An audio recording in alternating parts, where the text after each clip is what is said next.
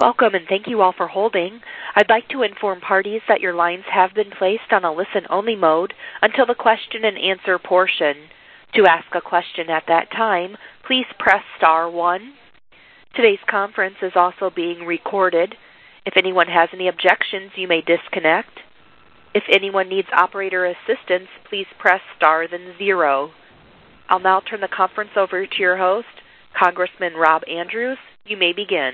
Hello, ladies and gentlemen. This is Rob Andrews, representing New Jersey's 1st District, co-chair of the Democratic Steering and Policy Committee. Uh, in nine days, a self-inflicted wound is about to be uh, launched at the U.S. economy. The so-called sequester, uh, over time, will cost between 700,000 and three quarters of a million American jobs. In my district, uh, as I've been traveling about, I've heard all about this. I've heard defense uh, contract employees at Lockheed Martin wondering if they'll be laid off. I've heard uh, businesses that run transportation contracting firms that are building roads, train stations, other transportation projects, wondering whether those projects will be terminated or interrupted by the sequester. I've talked to federal employees who work for the IRS, various other departments, the USDA of the federal government, wondering if they'll be furloughed or laid off. I've heard from people at my hospitals who are concerned that Medicare payments will drop, which means that revenues will drop, which means that layoffs will be made necessary there. This is an unnecessary, self inflicted wound to the United States economy. Congress should come back to Washington and fix the problem. Tomorrow, the Democratic Steering and Policy Committee will be having a hearing to talk about some of the impacts we're seeing around the country due to this self inflicted wound and also the Democratic response. Uh, our budget leader, Congressman Chris Van Hollen, working with Sandy Levin in the Ways and Means Committee, Nita Lowey, the Appropriations Committee, has put forward a plan that would keep us on path to a balanced budget, continue the progress toward reducing the deficit, but not put three quarters of a million American jobs at risk. We have on us uh, on the call today a, a number of leaders from our caucus that are going to talk about what they're hearing at home, what they believe we should do to avoid this self-inflicted wound. And we'll start with the ranking Democratic member on the Full Appropriations Committee, the gentle lady from New York, Nita Lowey. Hello, can you hear me? Yes, we can. Okay. Uh, thank you so much, Rob Andrews, uh, co-chair of the Steering and Policy Committee, for putting this call together. I am very concerned, as well as all of my constituents, about this unnecessary sequester. Most of the people don't even understand what sequester means, but those who are employing thousands of people get it. For example, I've been approached by the head of our large hospitals which serve the whole metropolitan New York area. My district is Westchester and Rockland but of course, millions of people commute for work into Manhattan every single day. At one of the hospitals, they are getting over $185 million for research, cancer, Alzheimer's, autism. It's important to note there are several large hospitals such as this who are getting research grants from the NIH. Now, the impact here is not only that many researchers won't be able to continue their work and have a devastating effect on research into cancer, Alzheimer's, autism, and so much more, but these are jobs. Research affects the economy in the whole metropolitan region. People commute to work to do this important research and to cut across the board to have the sequester takes place affecting the National Institutes of Health is not only important research, but it means jobs. I also want to say many people fly into New York and out of the New York region. Air traffic controllers will be laid off. This again has a devastating effect on the economy. Planes will be slowed down, fewer planes will be able to fly. This is so unnecessary. I want to remind everybody on this call that in the Budget Control Act, which has the force of law, there was a cut over the next 10 years of 1.5 trillion dollars. And this is real.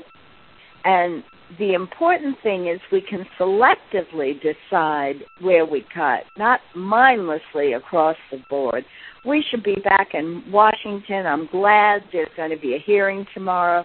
We should get to work, everybody in the same room, and put together a plan that doesn't put in place mindless cuts that has devastating effects on the economy. As Mr. Andrews said, loss of millions of jobs.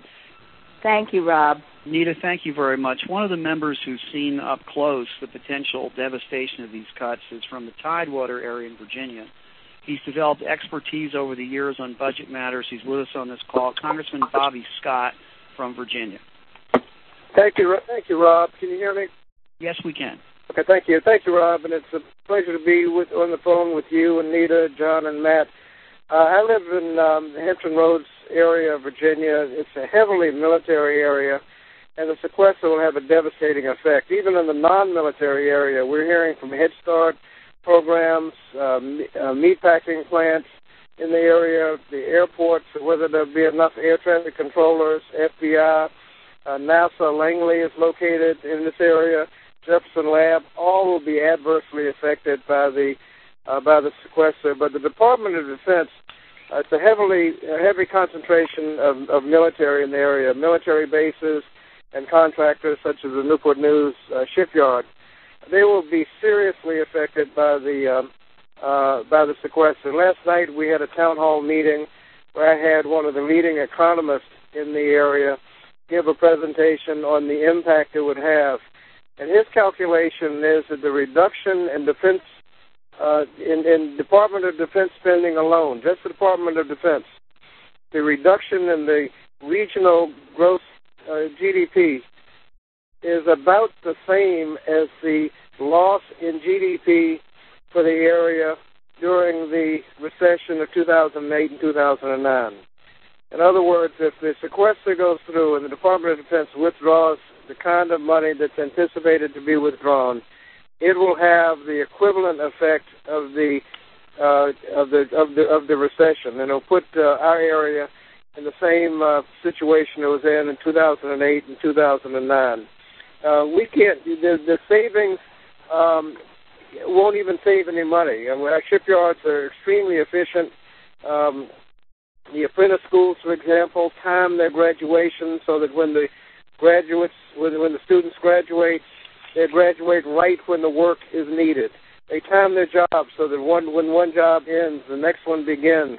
Uh, subcontractors all over the country will know when, when parts are needed. When you delay a refueling that's going on right now, we expected one of the ships to come in uh, for for refueling uh, last week. We don't know when it's going to come in when you do that, you just mess up everything. You know, the subcontractors don't know what to do. The um, uh, it will be delayed. It may be delayed when the next job is is to come in. This job may still be sitting in the dry dock, holding up things, and everybody is uh, wasting time. Uh, they're doing. They're waiting for the work to come. They're being paid, but they're not getting any work. Uh, we that, that just causes a, con- a lot of confusion, and the uh, things that will be cut by the military a lot of things you can't change. I mean, if you sign the lease, you can't tell your landlord, "Well, I, I just going to pay. I'm going to pay you ten percent less rent." The things that you can actually do something about: maintenance, training, uh, canceling contracts, so subcontractors don't know what's going on. Uh, you really won't be saving anything, but cutting back on training and maintenance, uh, you're just making things worse and more expensive for the future. It's the old oil filter commercial. You can pay me now, or you can pay me later cutting back in maintenance and training is not a good thing to do. Uh, local contractors have already, some of them have already sent out uh, so-called warn letters. Uh, they required uh, a statutory notice that there may be a major layoff.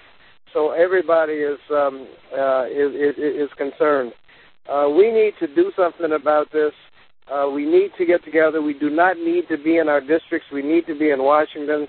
Being on recess during this period is absolutely absurd. One of the questions that came up during the during the town hall meeting, uh, what, why are you on uh, vacation when you ought to be at work? And I, you have to acknowledge, I said, uh, just responded, it, we should be at work. It's going to be hard. If you want to have a substitute for 1.2 trillion dollar sequester, uh, you have to come up with some alternative that's not as bad as the sequester. And the number is so huge that it'll be it'll be very difficult to do it without uh, new revenues. Uh, there are a lot of different ideas out there how you can come up with revenues to have a balanced approach to have some significant portion of the sequester offset by revenues, but you can't decide this in a, in a one or two day session. Bobby, we need to be, we, you very we, much. we need to we need to be at work. We need to be talking uh, to, to to each other and coming up Bob- with a solution. Bobby, thank you, and, and we agree that Speaker Boehner should call the Congress back into session. We should act to avoid this self-inflicted loss of three quarters of a million jobs. And someone who's observing that problem in the state of Maryland is Congressman John Sarbanes, who's with us on the call. Thanks a lot, Rob. I appreciate your pulling this call together. Um, good morning, everybody. I want to. I'm going to be pretty brief because um, I think some very good points have been made. But I want to follow up on something that Bobby Scott just said. When I talk to my constituents, when I interact with people out there, they're absolutely incredulous that we are on recess when this sequester issue is hanging over us. They they fundamentally cannot understand why the Republican majority in the House would have people go home when there's only days left before the sequester will take effect with the incredibly disruptive impact that that will have. And the disruption is going to be felt um, in terms of the federal government, uh, the federal workforce. And I have a particular perspective on that being from Maryland. We have over 130,000 federal employees uh, in the state of Maryland. Um, and many of them are doing uh, very, very essential work. And those, even those essential functions are going to be threatened by the sequester. We have the Social Security Administration is located in Baltimore. Those are the folks who process beneficiary and disability claims for tens of millions of Americans. In some instances, already understaffed. Now you're going to come along with a meat axe and do the sequester maneuver on that part of the federal workforce.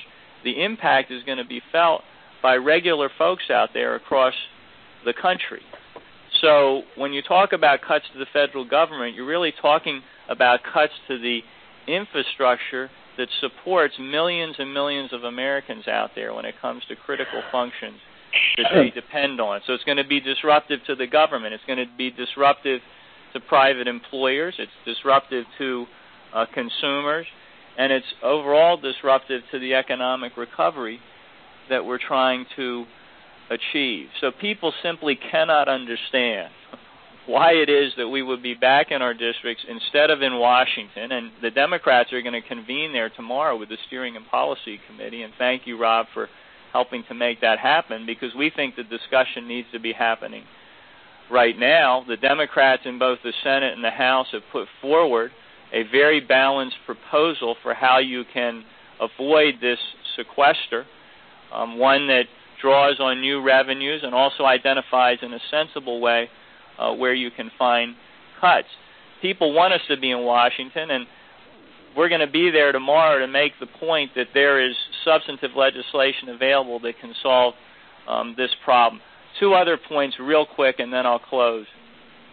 If you look at any of the recommendations from these different independent commissions and so forth, and there have been a variety of things that have come along, the details can be argued about, but the premise of every single one of them is that you have to have a balanced approach. You have to look at both revenues and savings.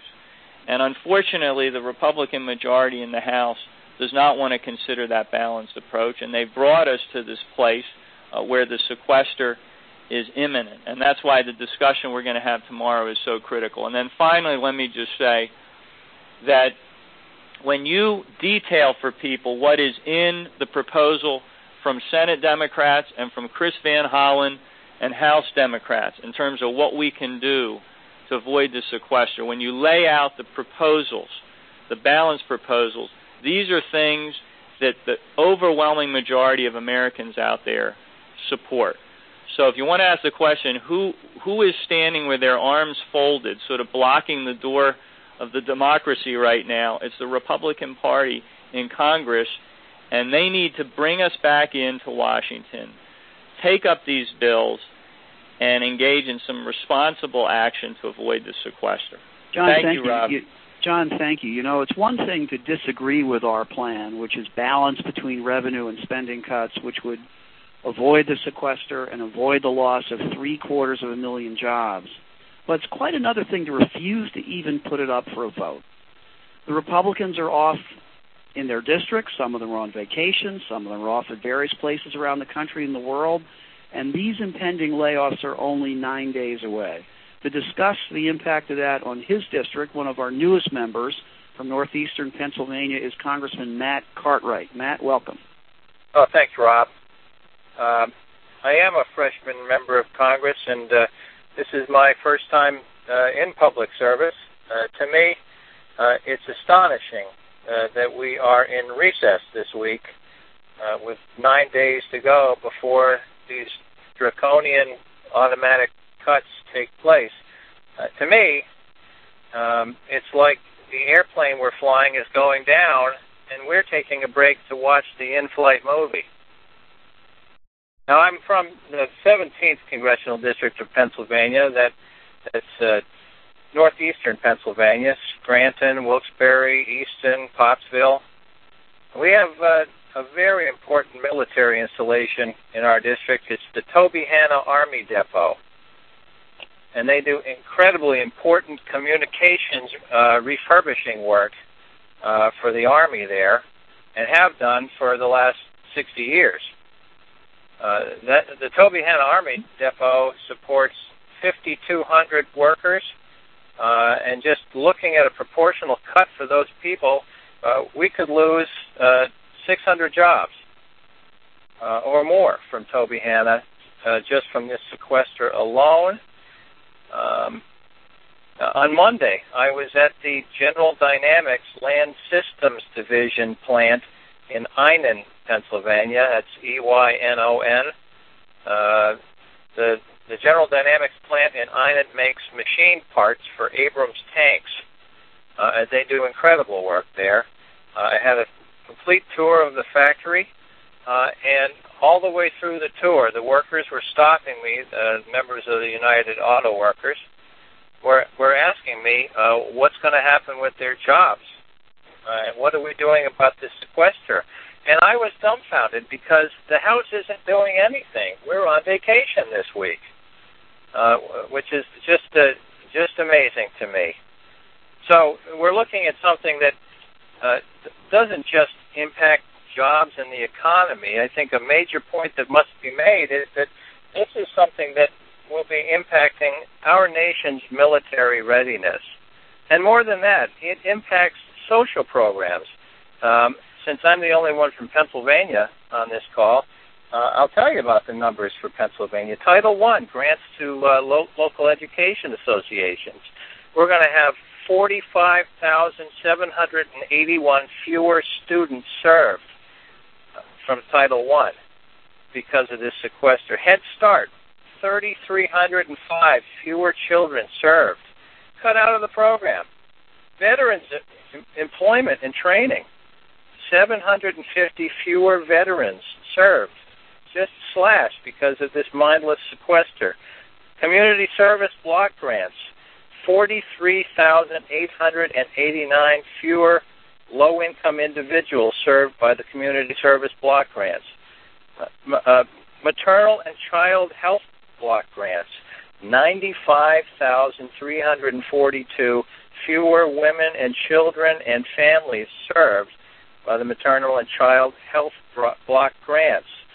These are these are cuts that are mindless, they're blind, and they cut across not only our military readiness but our entire spectrum of social services provided by the federal government. That's all I have. Thank you, Matt, very much. Thank you, my colleagues. And ladies and gentlemen, if you could direct your questions, we'd be happy to answer them. Thank you. If you would like to ask a question at this time, please unmute your phone and press star one. Please record your name. To withdraw the request, please press star two. Once again, star one at this time if you would like to ask a question. And one moment, please, for the first question. And our first question comes from Jonathan Strong. Your line is open. Um, hello. Thanks for doing this call. Uh, sure, Jonathan. Did you? Uh, did any of you stay in D.C. rather than travel home to your districts uh, to work on this issue? And do you know of any other representatives, Democratic representatives, or senators who stayed in D.C. to work on this issue? Jonathan, our leadership has been talking about this on a daily basis, and our steering and policy committee will be in Washington tomorrow to have a hearing about this. I will tell you without exception, Democrats are ready to be back in town with 24 hours' notice to take a vote and put this problem behind us. It's up to the Speaker. He's not done his job. We're ready to do ours. Uh, John, this is Matt Cartwright. I am in Washington, D.C. right now. Next question. Thank you. The next question comes from Phil Davis. Your line is open. Hi. Uh, you, the, the last senator spoke of uh, cuts to spending in education, and I, I kind of wanted to touch on that. Uh, there are a number of, of cuts across special, special education, child support enforcement, and uh, child care and development, uh, development block grant. And I wanted to know: are there are you guys looking at rev- revenue neutral ideas to not only keep those plans in there, or, or, but also be able to fund them over the long term? Uh, can you kind of address how you're going to attack, tackle the education issue as part of the yeah, the, the answer is the Democrats put forward a comprehensive substitute that would have cut uh, direct payments to huge agribusinesses, subsidies to huge oil companies, close the uh, the uh, loophole that lets Wall Street hedge fund people pay lower tax rates than their personal assistants, and use that money to restore cuts in priorities like education, special education. The the plan that Mr. Van Hollen put forward that we tried to put up for a vote on the House floor last week would have done all of that, avoided this mayhem to education, and it's what we should come back and vote on immediately.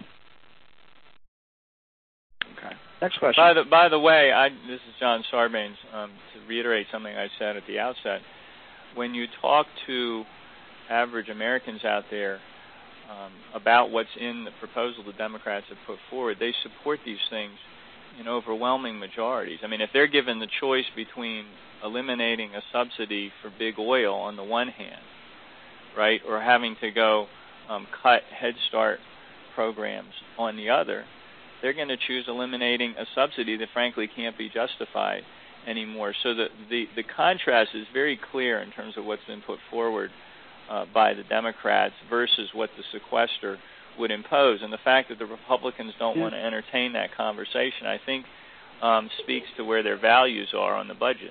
Exactly right. And, and as John said, that the contrast is not simply between how we would reduce the deficit and how they would. We would take action, they wouldn't. We want to come back to Washington and vote to end the sequester. They don't. And I think that's a contrast the American people understand quite well. Next question. Thank you. That comes from Ed O'Keefe with the Washington Post. Your line is open. Uh, Congressmen and Congresswoman, thank you for doing this. Um, I'm curious if any of you have made specific requests or pleas to certain federal agencies or perhaps even the White House to somehow protect programs uh, in your specific districts, whether it's making sure there's enough air traffic controllers for the New York skies or a certain military program that might adversely affect a contracting firm in your district.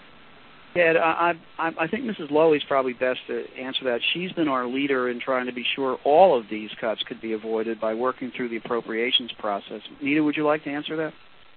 Certainly, and and if I understand the correctly, uh, the question correctly, uh, the reason we're so concerned is the tremendous impact on the areas you mentioned, such as air traffic controllers. But I have not, and I don't know that anyone has made specific requests.